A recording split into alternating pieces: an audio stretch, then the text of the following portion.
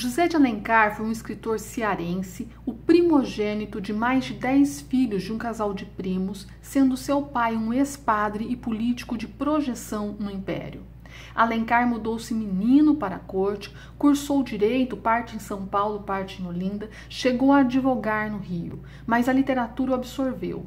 Foi cronista do Correio Mercantil, redator do Diário do Rio de Janeiro, tentou fazer carreira na política, mas, ao contrário do pai, assumiu posições retrógradas, uma delas com relação à escravidão, dado que pesa em sua biografia. Alencar ocupou lugar central na literatura romântica brasileira devido à natureza e extensão da obra que produziu.